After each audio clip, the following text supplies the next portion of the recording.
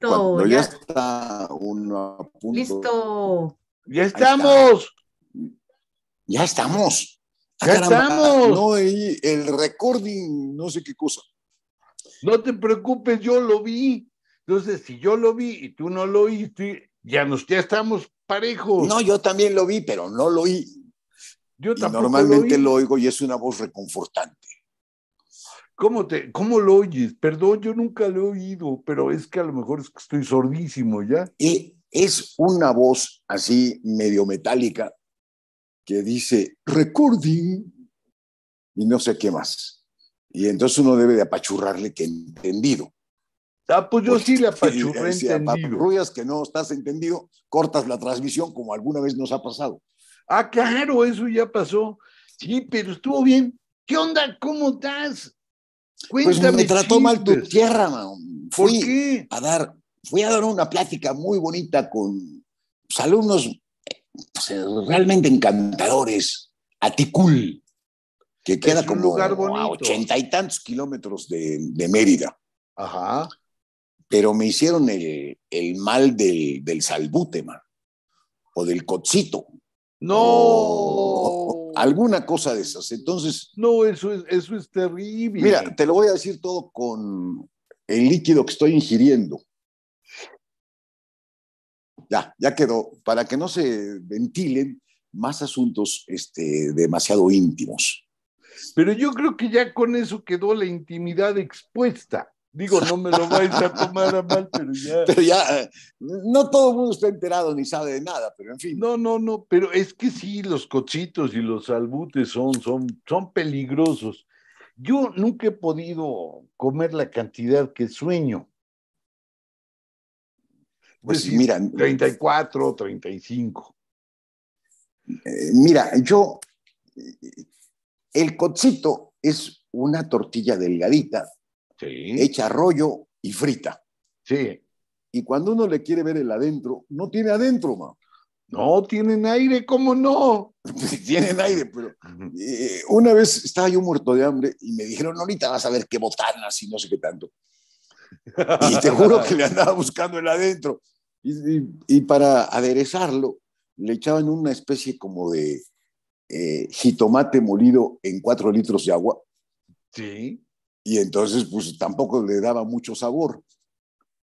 Pues no, no, no son como, y aparte no es picoso. No, no es pica nada. Pero te Nada. digo que estuve en la normal de Ticul, con unos profes muy interesantes y unos alumnos que se ven muy achispados. A ver, cuéntame. Pues fui a dar una plática de promoción de la lectura y al final hubo una tanda de preguntas, todas centradas y sensatas. Y una niña, bueno, ha de tener como 20 años, Muy me joven. preguntó, sí, una joven, me preguntó que más allá del vocabulario y más allá del eh, robustecimiento intelectual y todas las cosas que siempre se pregonan a propósito del pro de la lectura, que cuál era en el fondo, fondo, fondo, la respuesta a la pregunta, ¿para qué leer un joven? Entonces me dejó medio No está fulminado. fácil. Y se me ocurrió una cosa que no está del todo mal, fíjate. A ver. Le dije que a su edad, bueno, a su edad y a la mía y a la de cualquiera, uno está en el mundo y no entiende de qué se trata, porque los demás lamentablemente no son transparentes y el mundo ya está hecho cuando uno llega y no entiende cómo fue que se conformó de esa manera. El mundo aparece como un caos inexplicable. Y que en cambio, cuando uno se mete a una novela, se mete a un mundo ordenado, en el que sabe lo que piensan, en el que sabe por qué hacen las cosas los personajes, en el que uno termina de entender por qué sucede todo lo que sucede. Entonces, es una forma de ganar experiencias vitales, leer un libro. Y, y más a su edad, porque no me acuerdo si fue Habermas o alguno de estos filósofos, no sé, a ver si tú me lo recuerdas, Ajá. que dijo que la, la vida era como, bueno, la vida de la humanidad era como una larga conversación. Uno llegaba a la mitad de una conversación que llevaba siglos entraba, no entendía nada, eh, poco a poco le iba agarrando un poco la onda, después ya decía alguna cosa, le contestaban otra, y durante un tiempo uno medio platicaba con los demás, aparentando que estaba uno al corriente. Y uno decía una cosa, pero uno se moría y ya no sabía cómo iba a terminar la conversación. Esa, imagen de la, de la vida, te, digo que creo que fue Habermas, pero no, no, no me creas. Bueno, no importa. A ver si nuestros seguidores cultos me Se saben esa. del olvido. Yo no me la sé, pero echémosle la culpa a Habermas. Suena con lo de. Sí, suena, suena, suena, Y suena con lo de la comunidad de comunicación y todas estas cosas. Sí, bueno, pues esa idea fue la que me vino a salvar para darle esta respuesta a esta muchacha. Pues y se quedó muy complacida. Entonces yo, me quedé más complacido aún. Yo te voy a dejar, entendió a fondo. Pues yo te voy a dejar más complacido. A ver. Porque Gabriel Said, de quien hemos hablado unas 700 veces, para decirlo más o menos brevemente, tiene una idea muy parecida a la tuya. Y si no es parecida, riman tan bonito que podría ser dice que los libros, las canciones, los poemas, no los que están en los libros, sino los que dice la gente de todas maneras. Ajá. Es decir, cuentan los refranes, cuentan la música popular, esa canción que uno tararea, quién sabe de dónde.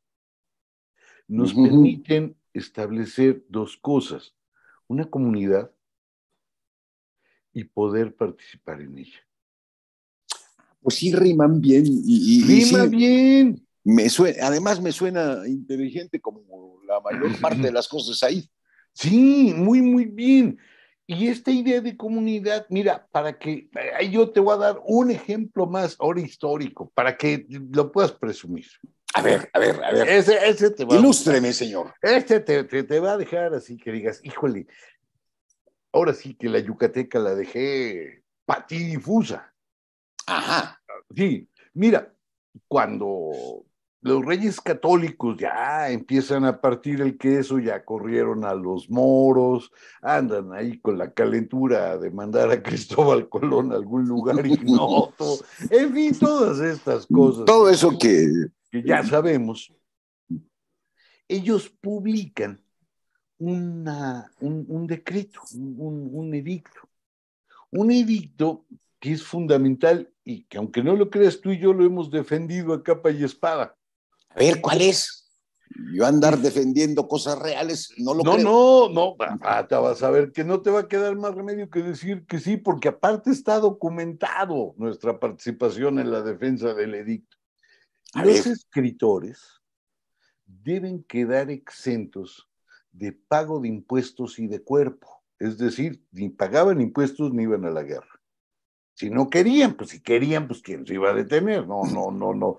Pero por lo menos en principio no podían pagar impuestos ni podían ir a la guerra. Y esto era por una razón crucial, porque ellos iban a lograr crear el reino. Dale, pues está bonito, fíjate.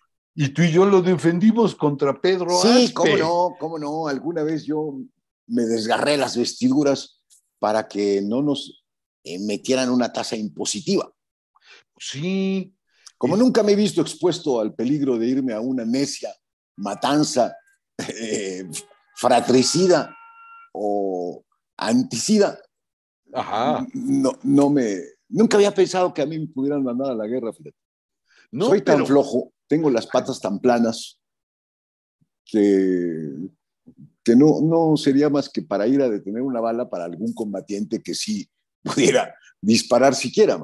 A mí no me siente el verde, entonces yo tampoco podría. Eso es también buen pretexto. Oiga, ¿usted va a la guerra? No, a mí no me siente el verde, la verdad es que no, no, no, no. Si usted cambiara de color los uniformes, bueno, podría empezar a pensarlo, pero que sean de buen diseñador, no, así no me va. No, hombre, de buen diseñador, olvídate. Acuérdate que, pues, uno de los diseñadores que actualmente eh, rompe el queso es Hugo Boss. Y es el que, el que diseñó los uniformes de los nazis, Entonces, qué cosa, ¿no? Pero qué pero le pones a algún diseñador mexicano. A ver, dime tú. no, pues es que... vestido como si fuéramos rote, este, rondalla, la rondalla de Saltillo. bueno, pues tiene su gracia. azul cielo, harta escarola. Con sus escarolas así. Sí. Lo que pasa es que a lo mejor es una estética a la que no nos hemos habituado. Por lo menos yo no la aprecio, pero me imagino que sí. Nacemos en un mundo demasiado occidentalizado los que estamos en la capital. Sí.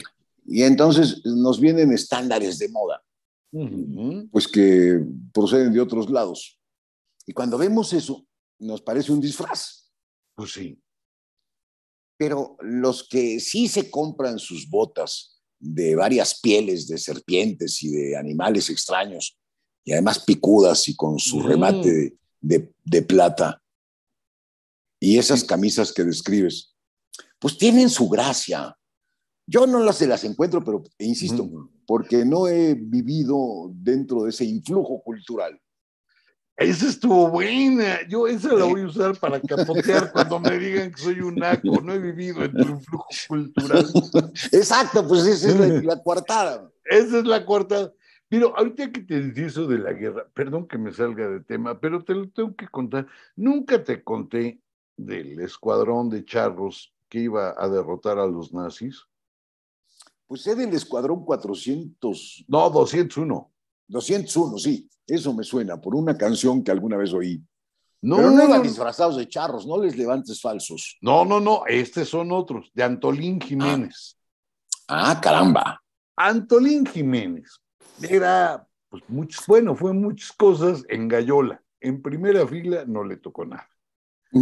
Antolín Jiménez, pues fue líder charro, literalmente, o sea, no, no, no, no por epíteto malo era líder de los charros mexicanos. Fue masón, tenía una casa chica de larga duración, fue burócrata tranza, diputado corrupto. Vamos, fue una serie de cosas maravillosas, Antolín Jiménez, Dorado de Villa.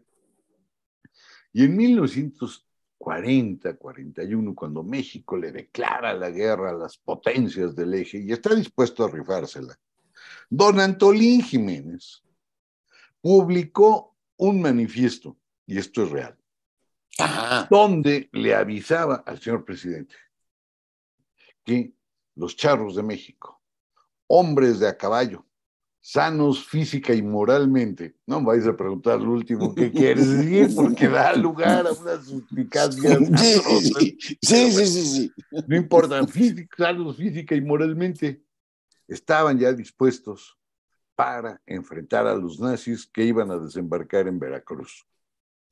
No me vayas a preguntar de dónde sacó que iban a, desembarcar. Que nos iban a invadir. Sí, no, no, no. Él no, esa parte no está clara en la historia, pero él estaba convencido.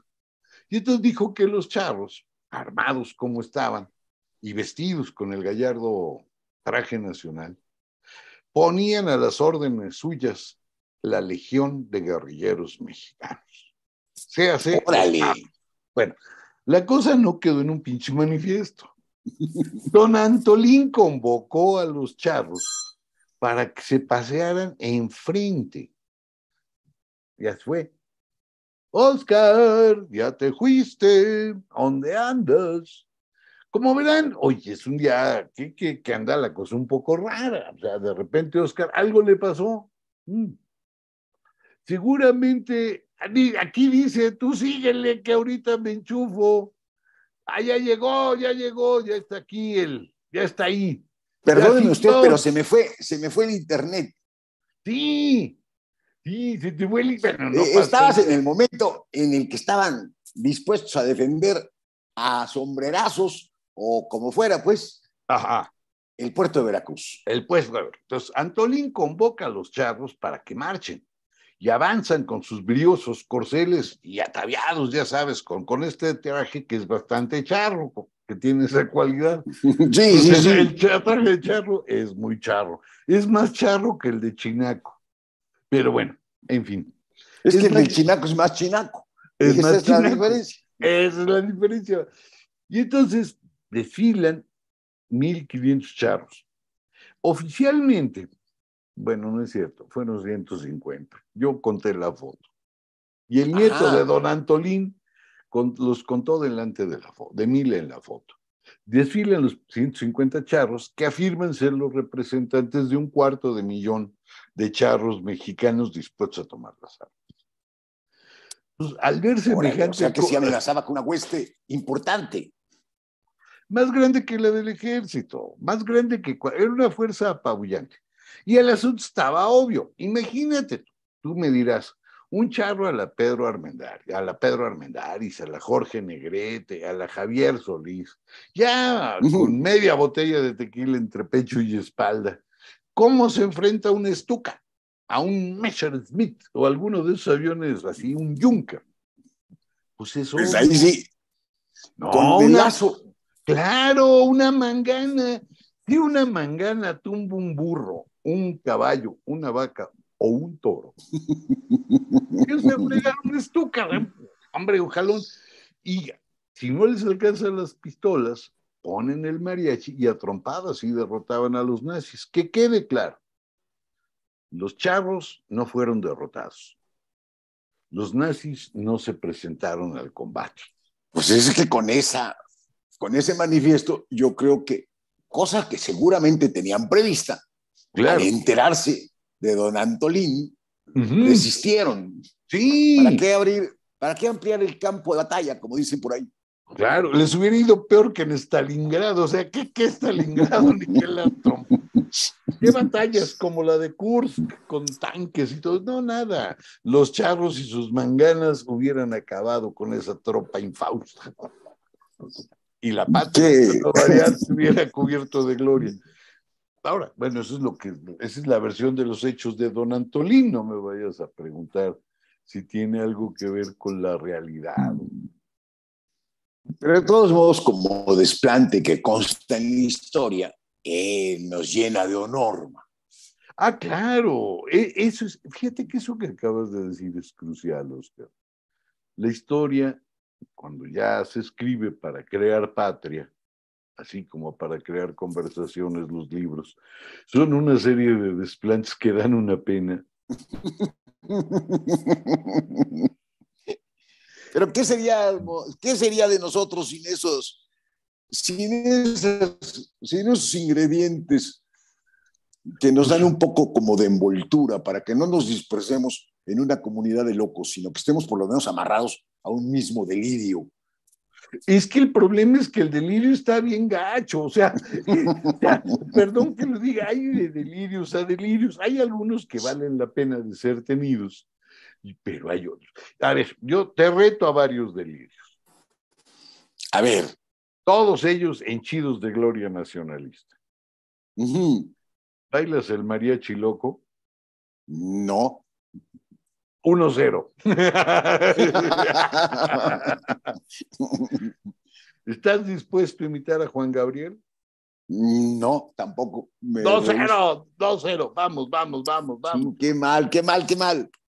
Es decir, cuando llega algún amigo tuyo que viene de un lugar extranjero, por ejemplo, Ecatepec, llega y le pones un sombrero de charro.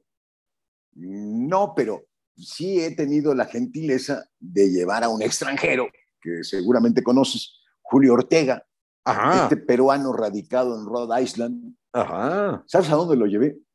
No. Pero por petición suya. No ah, crean que yo sé. Sí, no, no. A a que conociera las, las, las trajineras. A que conociera pero si él conocía Venecia, que es el Xochimilco italiano. pues, es que, es que pues, tenía curiosidad y entonces fuimos a pasear.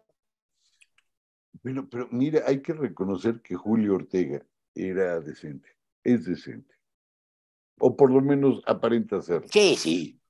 Imagínate que te hubiera pedido, llévame a Garibaldi es un manicomio. lo habría llevado, pues. ¿En serio? Aunque sea sí, ese, sí es un manicomio a cielo abierto.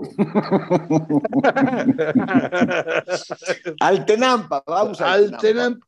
¿Tú has ido a Altenampa? He ido un par de veces.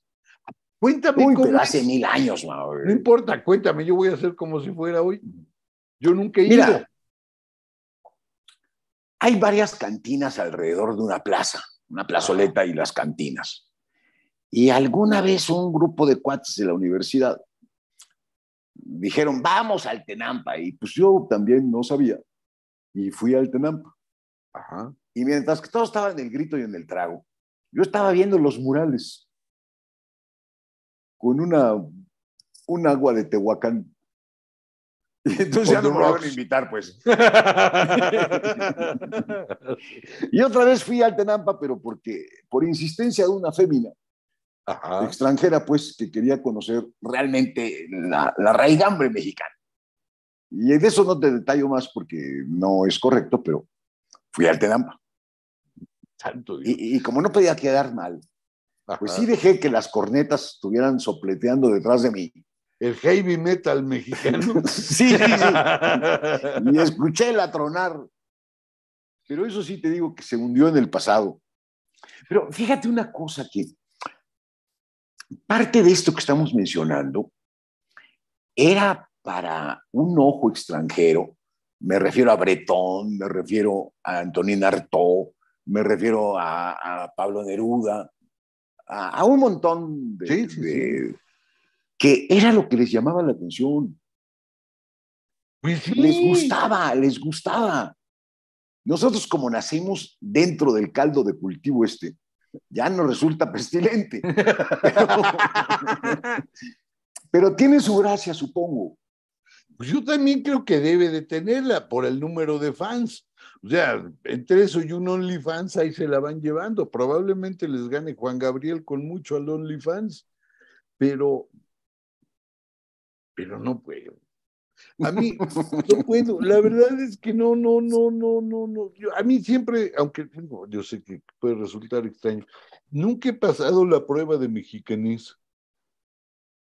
No, a mí también me resulta difícil, pero es que fíjate que si nos sometiéramos a la prueba de cualquier ideología nacional, No eh, seguramente no pasaríamos ninguna, ¿eh? No, no, no, no. ¿Tú no te acuerdas de la teoría de Carlos Monsiváis de elaborar un, un cuestionario psicológico que midiera el grado de nacionalismo y de izquierdismo de la gente? No, no supe de eso. Sí, es una propuesta real, un- algo así como el, el- el cuestionario de Alan Turing, para ver si Ándale. es ser humano o máquina. Exacto, o como el de Proust. Nada más Sí. que este es para medir el izquierdismo y, y el grado de nacionalismo. Entonces, por ejemplo, yo no recuerdo todo el cuestionario de, de, de Monsiváis, pero ahí te van algunas preguntas que no vamos a pasar, pero te las hago nada más en un afán, ¿cómo podríamos No más, no más. no más científico. Decía, su cantante favorita es Lucha Villa, Lucha Reyes o Lucha de Clases. No meten en la lista a, a- a otros, pues. No, nada más hay tres. Lucha Villa, Lucha Reyes o Lucha de Clases. ¿Cuál es su cantante preferido? Bueno, pues, lucha de clases, ok, 10 en, en, en, en, en izquierdismo. en izquierdismo, cero en mexicanismo. Segunda pregunta. Cuando usted oye, como México no hay dos, se levanta y aplaude. B. Yo, no, yo, yo normalmente pienso dos cosas. Ajá. Depende de- del, del tono moral que traiga. Ajá. A veces digo, qué bueno. Y a veces digo, es que no pudieron hacer otro. Sí. Se les pues, Mon- acabaron los ingredientes y ya no hubo con qué. Ándale, pues Monsiváis decía en la última, decía, para medir el peor grado de nacionalismo era, se levanta y aplaude, llora de, emoción, o tres, dice, por fortuna. Pues sí, por fortuna. por sí. fortuna, o sea, no, no, no, no, no. Pero fíjate la paradoja.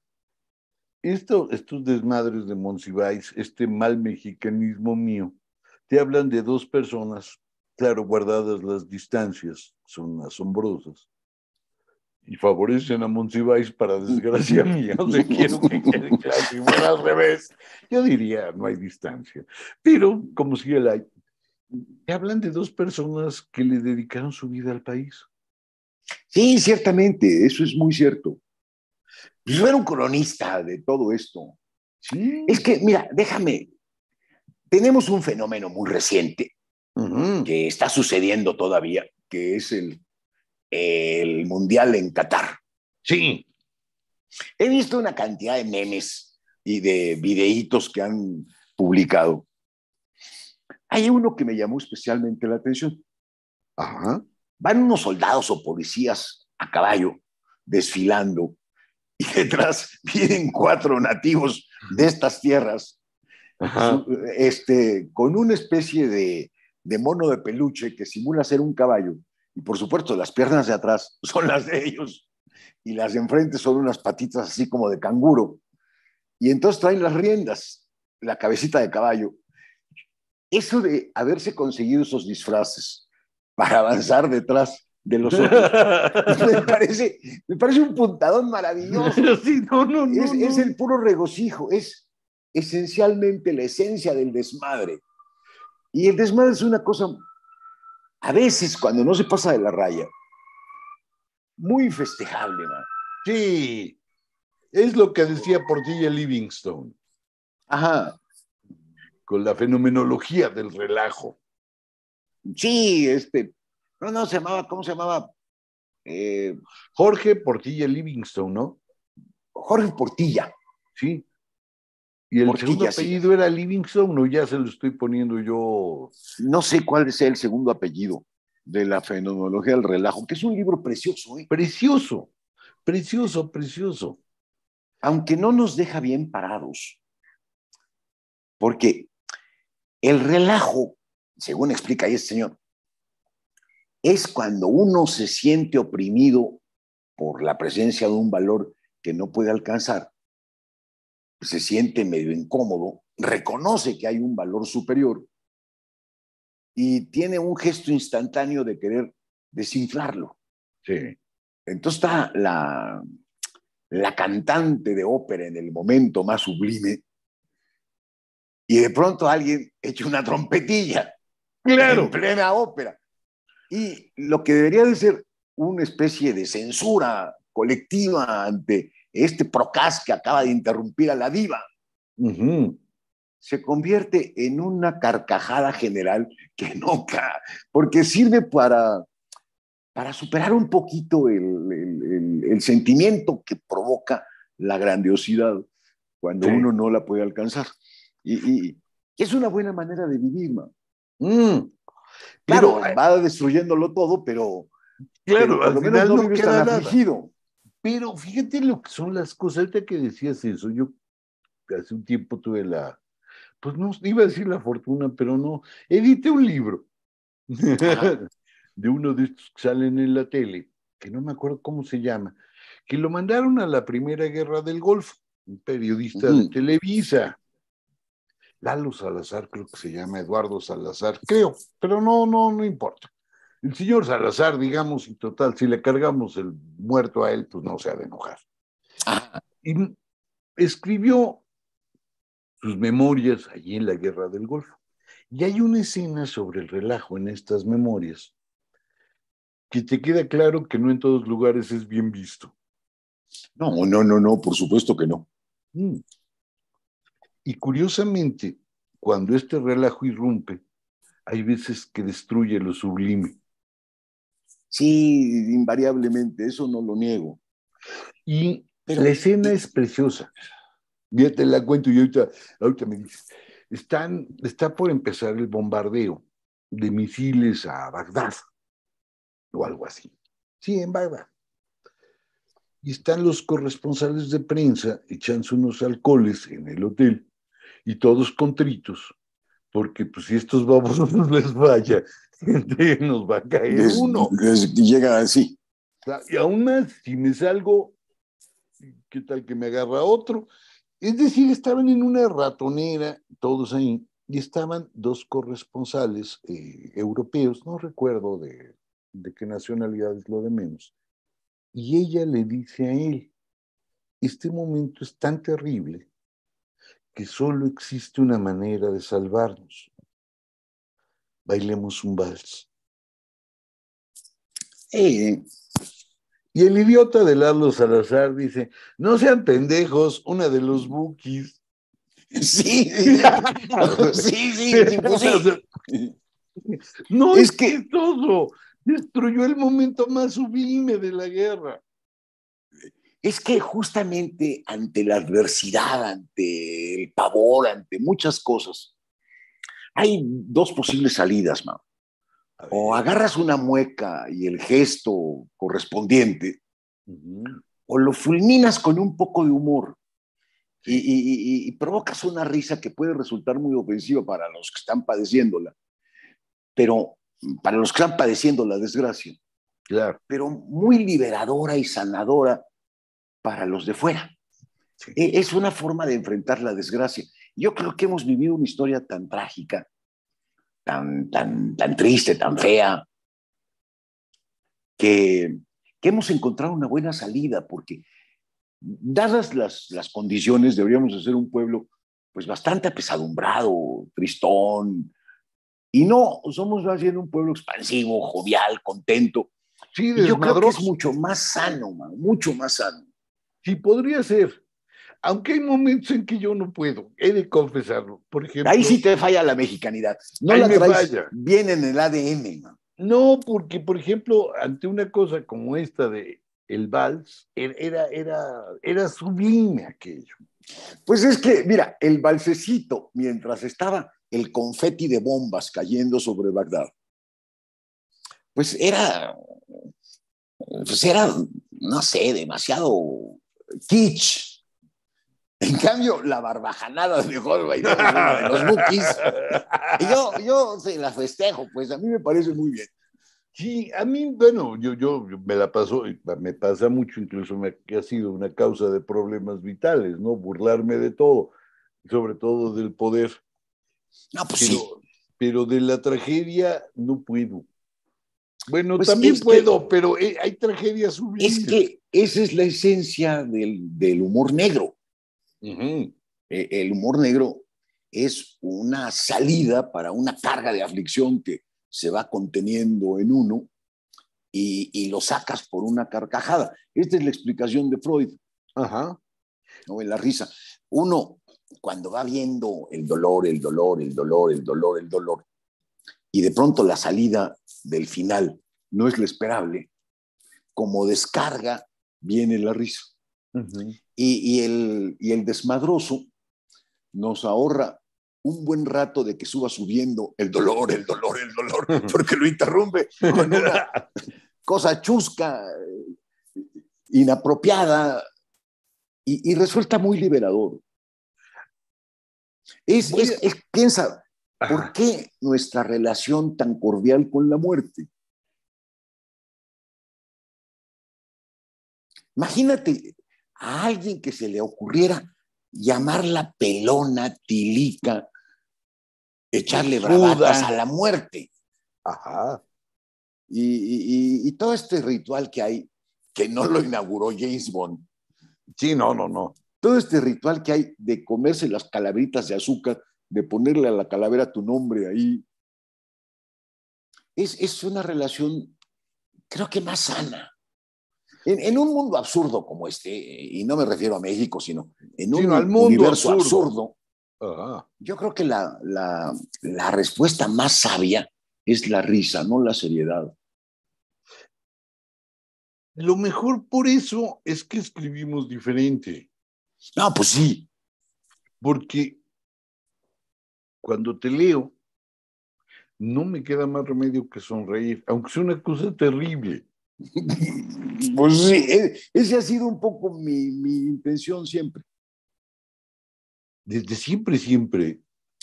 Pues, mira, como no tuve una biografía muy bonita en la infancia, y luego tampoco, y luego empeoró, y luego siguió peor, aunque me la he pasado muy bien a ratos, o me, me tiraba la tragedia, o me tiraba el desmadre, y, y creo que elegí bien.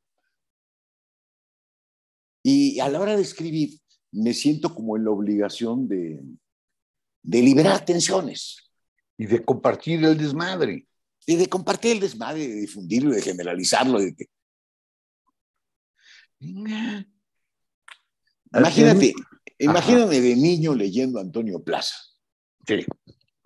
No, ya eso es, verdaderamente fúnebre. No hay otra manera, creo que no hay otro calificativo. Todo está color de tumba. Egoísta el firmamento, escondido las estrellas bajo nubarrones densos. Disfruta noche callada la paz de los cementerios, mientras que yo, no me acuerdo qué más, pero ese es el tono. Entonces, leía eso, me apesadumbraba más. Y, y un día de pronto me reí de mí mismo y, me reí de mí mismo porque en algún verso del propio Antonio Plaza dice que la vida es un bailable sobre un tablado de tumbas. Cuando entendí bien eso, pues ¿quién le va a tomar respeto o, le va a parecer honorable o le va a parecer nada, nada? y, Creo que ese mismo espíritu estuvo presente en Europa en algún momento, ¿sí? con el dadaísmo, con esas corrientes, porque hablaban de una palabra que literalmente se, se traduce como desmadre, ¿sí? y es la de yenfutismo tú. O sea, me vale madres todo. creo que es sano, de verdad. Espero que la risa me acompañe hasta el final. Eso sería bonito. Sí, no, no, no. Imagínate estar ahí. Eh, eh, bueno, ya estamos de alguna forma en la agonía. Ajá. Porque toda la vida es una espera de la muerte. Claro. Imagínate estar ahí con la contemplación del reloj que avanza y avanza y avanza. Y, viéndola cada vez más cerca, pues ya no podrían hacer nada más que hacer unas memorias para que fueran póstumas y uno sacar ahí lo más sublime de la existencia. Espero que mis últimas frases sean algunas patochadas de burla y de escarnio contra todo. Así de, disculpe que no me levante como Groucho Marx. Sí, sí, sí. Disculpe que no me levante a saludarlo como se merece. Como se merece, es que estoy muerto, pero bueno, de no ser por eso yo. Fíjate que yo sí pensaba, esa es una, es una cosa que creo que nunca he contado. Yo sí he pensado escribir como último libro mis memorias. Pero para contar todos los chismes. Ah, es que te sabes unos buenísimos. ¿no?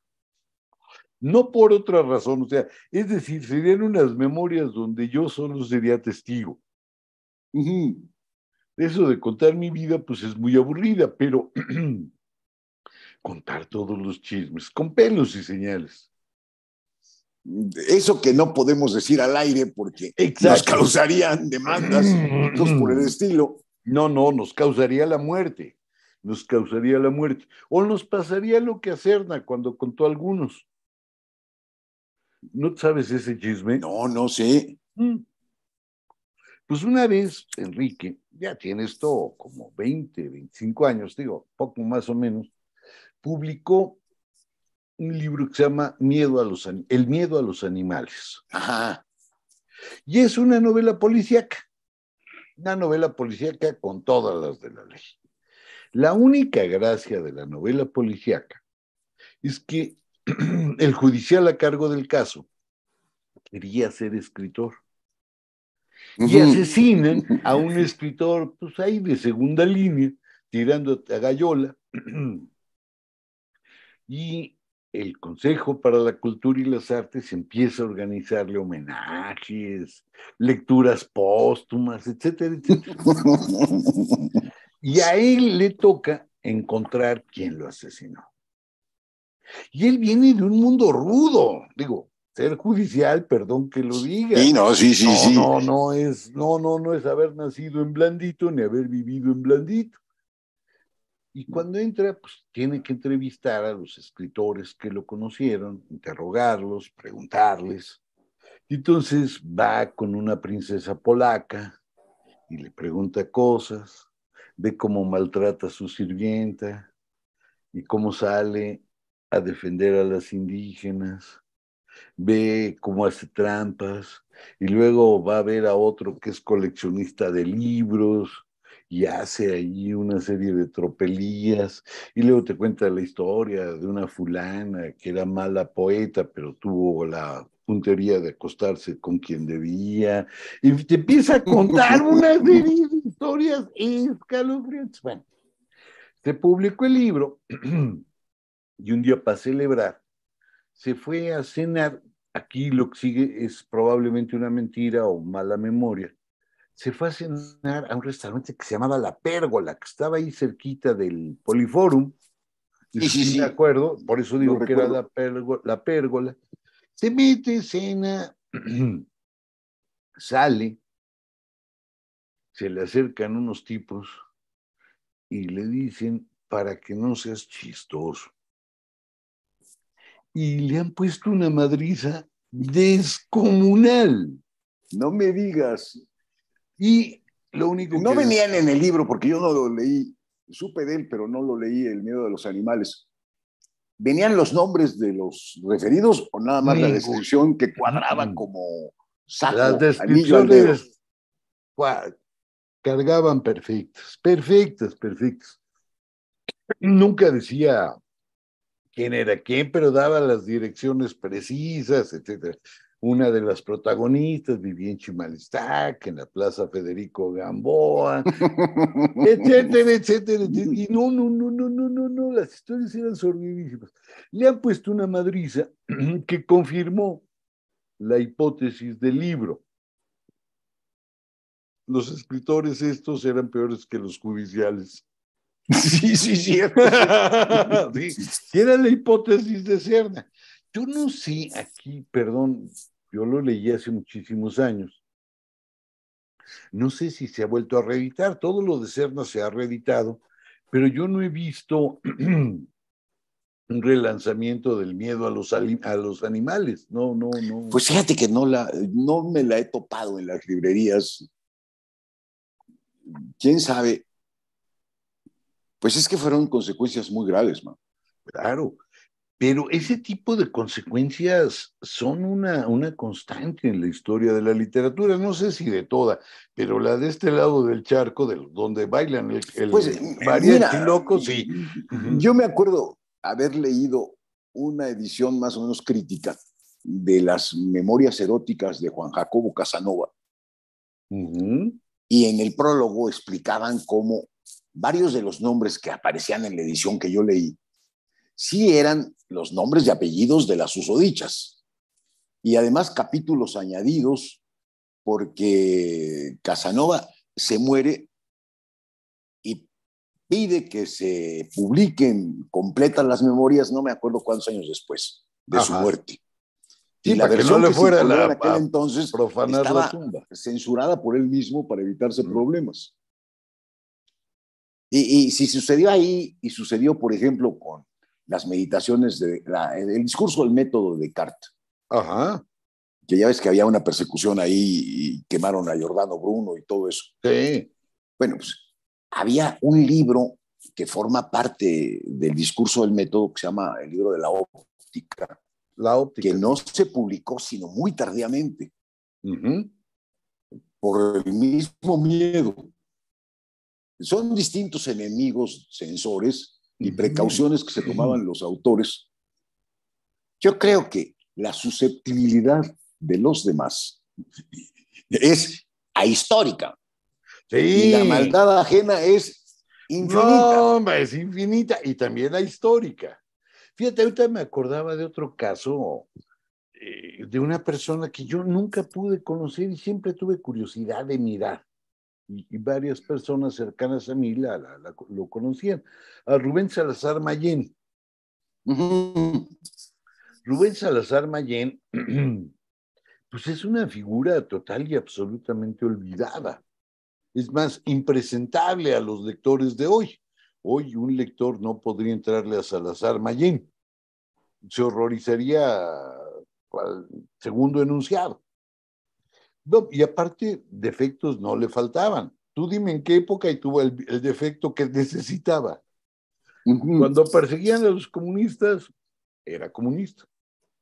Cuando persiguieron a los nazis, ¿qué crees? Era nazi. También. También era nazi.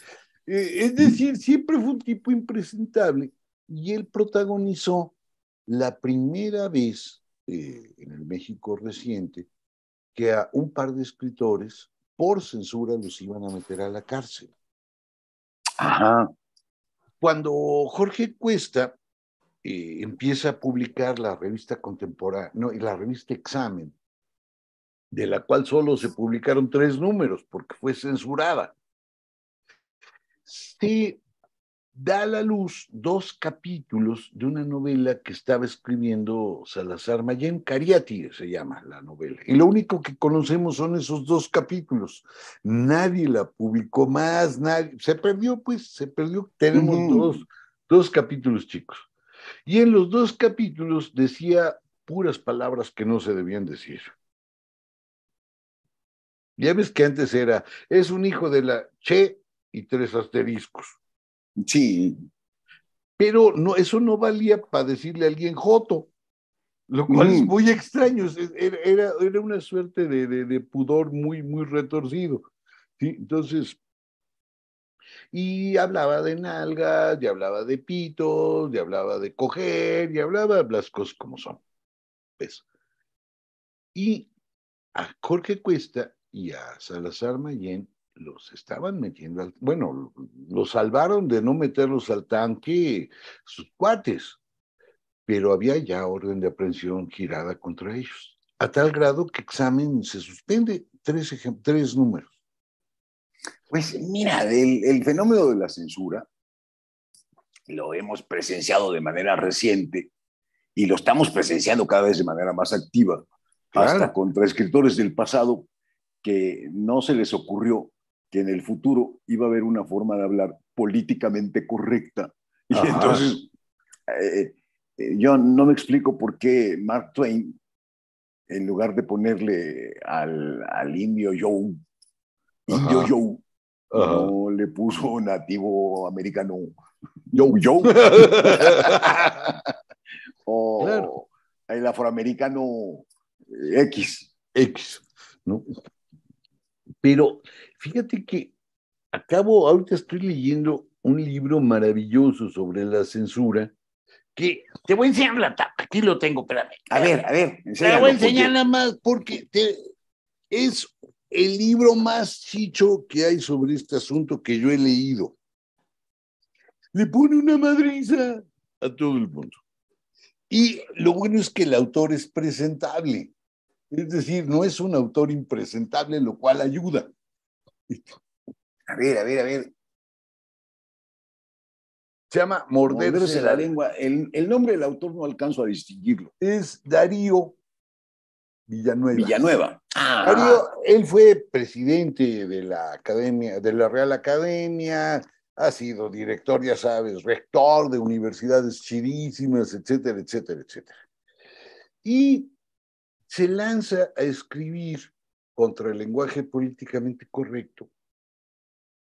Y él dice que hay cosas que le parecen muy extrañas. Dice, antes la censura corría por cuenta de los malos, hoy corre por cuenta de los buenos. Pues eso da más miedo, eso da más miedo, porque tú, tú sabes que harán los malos.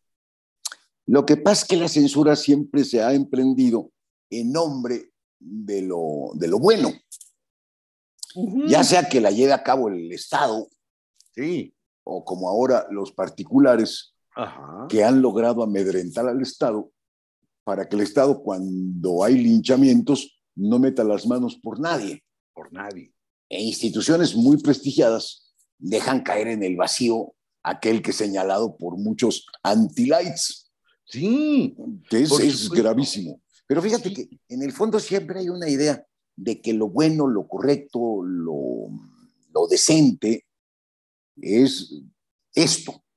Y en nombre de eso, pues hay una complicidad silenciosa de la mayoría, porque concuerdan con ya sea con el Estado o porque concuerdan con los particulares agrupados, pero es la misma mecánica, ¿eh? Yo creo que sí, pero lo que ocurre es que esta higiene verbal, déjame llamarle de esta manera a la corrección política, porque algo de eso tiene. Esta higiene verbal rompe con tres o cuatro reglas que me parece que, que no hay manera de romper a menos que acabes en un manicomio, pero feo. O sea, no este manicomio cielo abierto que es Garibaldi, no, no, no, uno feo, de estos como, la, como la canoa en el siglo XIX. Me explico. Nosotros, el lenguaje, entre otras muchas cosas, nos sirve para entendernos, para decir. Me da igual cómo lo digas. Me da igual si es así, si es verbal o si te lo mando por escrito. Me da exactamente lo mismo, pero sirve para decir. Entonces, cuando creamos un lenguaje que sirve para no decir, un lenguaje elusivo. Exacto. ¿Cómo le vamos a hacer para entendernos? Aquí analizo un caso que me, que me dejó absolutamente frío y te lo quería mostrar, pero ya sabes cómo son los subrayados, que aquí está. De el periódico de Medicina de Nueva Inglaterra. Es una revista que tiene más de 200 años, según esto que dice el libro, y entre otras cosas, pues recibe artículos de cirujanos, de patólogos, de forenses, etc.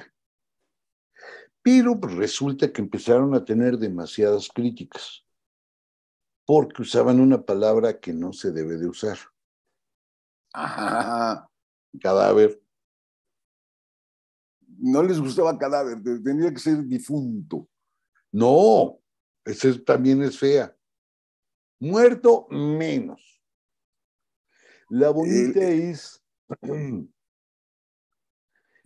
persona no viva. Qué barbaridad, qué estupidez más grande. Ahora, es que mira, eh, déjame decirte una cosa. Cuando la censura llega a esos niveles de no permitir que el lenguaje vaya a ofender a nadie. Y, ciertamente la palabra cadáver tiene una resonancia que te puede este, espantar y, mortificar y molestar. Pues, eh, ¿sabes desde cuándo viene esa necedad? No, desde Platón.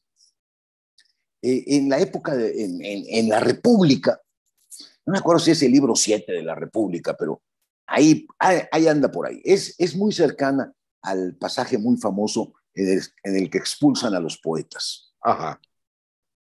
Y, los expulsan porque, según Platón, los poetas nacen en la historia de la polis al unísono que los bandidos. Si no hay excedente de riqueza, no salen ni los poetas ni los bandidos. Entonces, los, los equipara. Los, equipara. Y luego, como los poetas no se refieren a las ideas, sino que hacen una copia de esta realidad, que de por sí es una copia de los eidos. Claro. Los poetas mienten demasiado. Ya cuando los acomoda así, de pronto se le presenta, pues nada menos que el fantasma de Homero, que en ese momento, pues era en donde se cimentaba la educación de los griegos, era la paideia de Grecia. Y no obstante el respeto que debía de tenerle, se atreve a proponer una serie de rectificaciones a la obra homérica, a los poemas leída de la Odisea. Y me acuerdo de una palabra que propone que se debe de quitar del texto de la Odisea. Cuando llegan al Hades, pasan por un lugar denominado Cósito. Ajá. Y es río de las lamentaciones, la traducción exacta. Es lo mismo que pasa con la palabra cadáver. Ajá. Si, si tú tienes una imaginación suficientemente fuerte, cuando escuchas río de las lamentaciones, eh, el ruido hace un determinado ruido, el del agua. Ahora imagínate que ese ruido fueran lamentos. Bueno, esa palabra la prohíbe Platón porque les va a mortificar a los lectores. Y, vienen un montón de censuras a la, a la, obra de, Homero. sugerencias, pues, de, supresiones. Es antiquísima la, idea esta. ¿eh? Sí. Ahora, ahora, como estamos en una sociedad no cristalina, sino de cristal, parece que todos los mortifica, los revienta, los, los desquebraja. Eh, yo creo que están las cosas tan rotas, cayéndose a pedazos, la violencia está tan desatada, que a lo mejor como una especie de, de compensación, se quiere hacer esta higiene del lenguaje porque es lo único que finalmente pueden controlar. Claro. No pueden controlar ni los balazos, ni los secuestros, ni ninguna de las desgracias reales. ninguna real. Esas están más allá de. Y nadie las enfrenta. Pero cuando se trata de limitar los derechos inalienables de un individuo que se dedica a escribir, ahí sí se puede contra el pobrecito solitario que está ahí, entonces sí se le pueden prohibir cosas. Claro. Que se pongan con uno de su tamaño, o sea, con una masa, que, a ver si pueden contra el crimen organizado, ¿no? que eso sí solucionaría el problema de, la violencia. Es una a mí me gustan mucho todos los totalitarismos. Y ese es uno más. Pero mira, te voy a leer nada más, porque ese te, va, te voy a levantar el ánimo. A ver. Dos usos de este lenguaje correcto. Uno, de la revista médica que te comentaba, para describir el cadáver de un gordo, porque ese está dos veces jodido.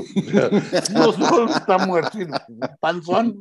O sea, ni que, si no le puedes decir cada vez, ni que le digas gordo.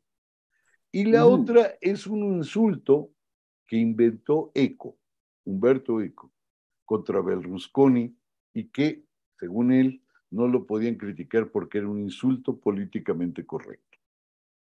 Ah, a ver, a ver, ¿cómo es? Mira, ahí te va el del cadáver. Dice el artículo médico en cuestión nos encontramos ante una persona viva de diferente tamaño. ante una persona no viva de diferente no viva de diferente tamaño. En la madre, yo es que si lo lees así nomás podría ser un gigante. Mira, déjame decirte o Gargantúa, no sé quién sea, pues, o, Gulliver, o no sé de diferente tamaño. ¿Qué? De diferente pues es que, mira, este, estos eufemismos, que ahora sí ya rayan en la estupidez, no terminan por percatarse que cuando había la palabra precisa, con, además con una carga, no necesariamente peyorativa, pero sí la tenía un poquito como de filo, porque se usaba para destacar el defecto del otro. Lo que no se dieron cuenta es que cuando se sustituía esa palabra por otra, volvía a llevarse el pedacito de, incidencia. Te lo pongo con un ejemplo muy sencillo. Ciego. No. Entonces le pusieron invidente. Bueno, en los squinkles decían maldito invidente. ¡Claro! Sí. Eh, Ahora dicen, maldito capacidades diferentes. Claro. Eh, pueden hacer lo que se les pegue la gana, pero lo que no pueden es castrar la maledicencia humana que es congénita. Ahora te ve el insulto de Eco, que te va a gustar. A ver, el insulto de Eco. De Eco, contra Berlusconi. Eco argumenta que pues, ya no le puede decir a Berlusconi que es un chaparro, panzón, y pelón. Tampoco le puede decir que es un imbécil, porque pues no importa que se gaste el presupuesto en rentar prostitutas de 14 años. Sí, que era lo que hacía, además era claro, una aparte es una barbaridad. una barbaridad. Bueno, no importa. Entonces dice, ¿cómo le puedo decir yo a un tipejo como Berlusconi? Y dice, señores, está resuelto persona verticalmente desfavorecida pendiente de poner remedio a una regresión folicular y con un notorio aumento de la masa grasosa en la parte frontal de su cuerpo. ¡Qué barbaridad!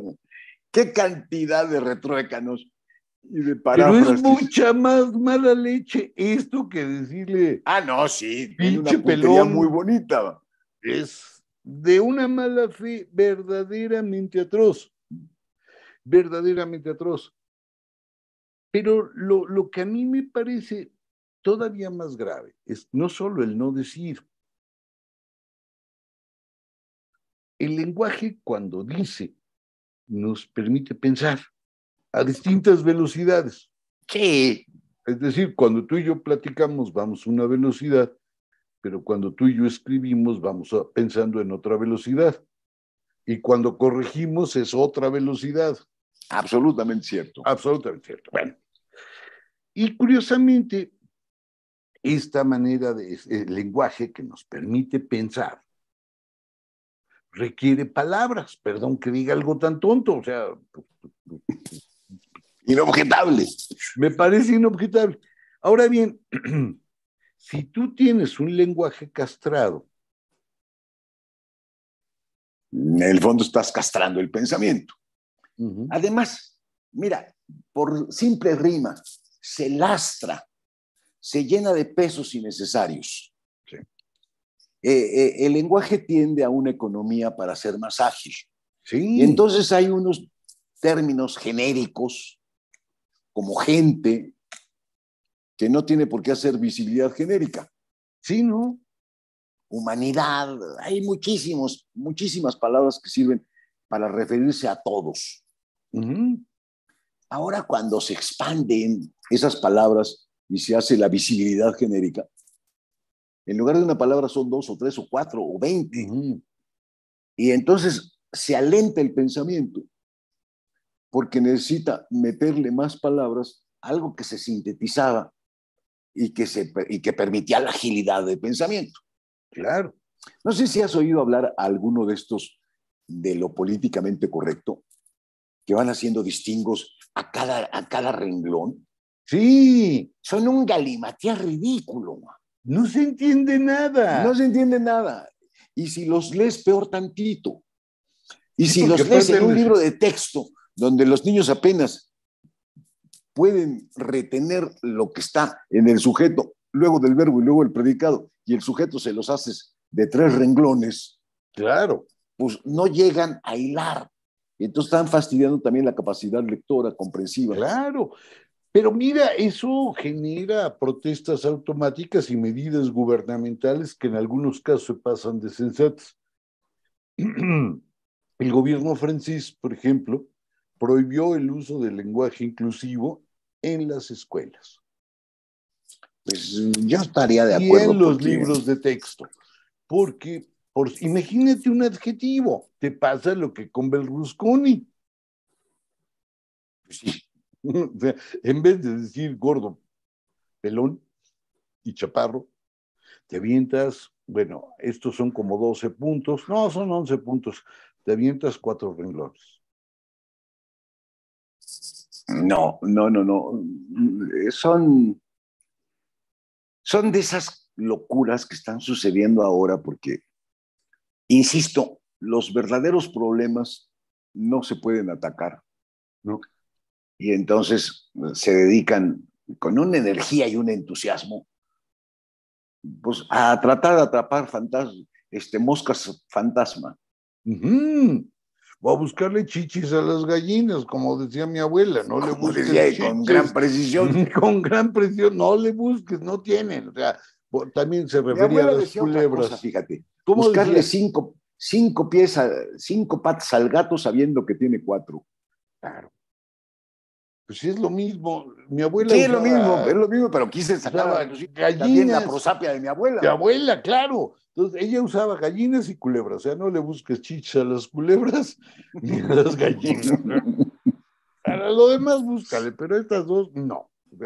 estaban excluidas de, de semejante cosa. Oye, mi querido José Luis, estamos a punto de pasarnos ya, como de costumbre. Sí, sí, pero creo que tenemos que hacer un, un anuncio, un aviso. ¿Te corresponde? Ah, me corresponde. Sí. Oigan, nos vamos, nos vamos, vamos a dejarlos unos tiempo para tomar un descanso, para no quemarnos, y cuando digo no quemarnos es no empezar a repetirnos, para agarrar aire.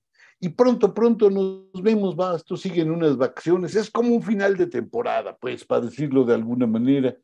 Y, y pronto volvemos, pronto, pronto, pronto, ahorita vamos a tomarnos un relax, porque aunque no lo crean, nos cansamos. Llegamos al programa 118, que es un, pues yo no sé si sea una odisea, una gigantomaquia, pero sí está canijo, ¿eh? No, hombre, por lo menos es una gatomaquia como la de López. una gatomaquia, sí. Pues como Mira, ha sido un gustote, José Luis. Tú y yo seguiremos platicando. Ah, claro, lo que pasa es que sin testigos. Sí, no, lo haremos en corto. Y ahí contaremos todo lo que ustedes nos enteraron hoy de las eh, historias que saldrán en mis memorias póstumas para que no me pase lo que Enrique Cerda. que sean póstumas, de veras, porque no vaya a ser que te tardes ya pensando que ya estás a punto, las entregues se publiquen y, te pase lo que, lo que a un periodista muy famoso pasó y cuyo nombre no voy a decir. Pero te voy a contar el chisme porque es buenísimo. A ver, viene. Y ya otro día en persona te digo quién. Sale. Era un periodista muy importante, magnífico, crítico y además de esos pocos que eh, envolvían la noticia con un montón de datos que te permitía realmente entender lo que estaba pasando y no simplemente te decía, pasa esto descontextualizado. A, mí, a mí me gustaba mucho seguirlo. Y un día se enteró que tenía cáncer, pobre, y ese día decidió dejar de pagar impuestos. pero se curó. ¡Mocos! Esa es toda la historia. ¿no? ¡Mocos! No, Yo estaba preocupadísimo. No, pues sí, la verdad es que el plan era buenísimo. Así es que ni con la muerte hay seguridad. ¿no? Ya no. Entonces mejor las voy a dejar encargadas a alguien que se vuelva mi editor póstumo. sí, sí, me muero y al otro día, cuando esté el homenaje nacional, ya a pleno y estén diciendo todo lo que no soy, a todos los que hablen les mandas un ejemplar. Oye, José Luis, pues déjame decir al aire que para mí ha sido un placer platicar contigo. Ay, 118 veces de plática y como 400 y pico en persona o más tal vez. Y nos seguimos platicando porque esta amistad creo que crea una especie como de Mm, adicción. Y crea lo que hemos dicho varias veces, la posibilidad de, de la hermandad, Oscar. De, de, de, O sea, no, no, no es chiste. Es, es, serio. Pues esto también. Creo que de veras fue un gustote, gustote, gustote estar en esta aventura contigo. Pero vas a ver que como MacArthur o como Terminator, volveremos. volveremos. o como Matrix reforzado. Ándale, un reloaded y nos va a salir bien. Queridísimo. Bueno, pues me despido de todos. Agradecemos las bola de comentarios que nunca respondemos porque nos, nos salen así en, la, en las columnas paralelas a esto. Pero luego, en cuanto termine el programa, nos asomamos a, verlos y nos causa gran alegría, al menos a mí, no sé si a ti. Sí, a mí también. Es un gran cariño. Leemos, hay gente, pues todo el mundo, desde España hasta Guatemala y pasando por todo Centroamérica y Sudamérica y, y de muchos lugares extraños nos escriben. Sí. Y se ha hecho una palomilla bonita. Sí. Pero no se preocupen, nada más un ratito de fiaca. Ya habrá un reload. Órale. Abrazo. Abrazo inmenso. Inmenso, más para ti, más grande, más grande, el más grande del mundo para ti y también para todos los que nos acompañaron ciento y cacho veces. Que parece 118, es bonito número. 118 veces. Lo ideal hubiera sido 666 porque ya directo nos hubiéramos ido al infierno. Pero sí, seguramente. 118 es un buen número. Muchas gracias, muchas gracias. Gracias. Cuídense mucho todos.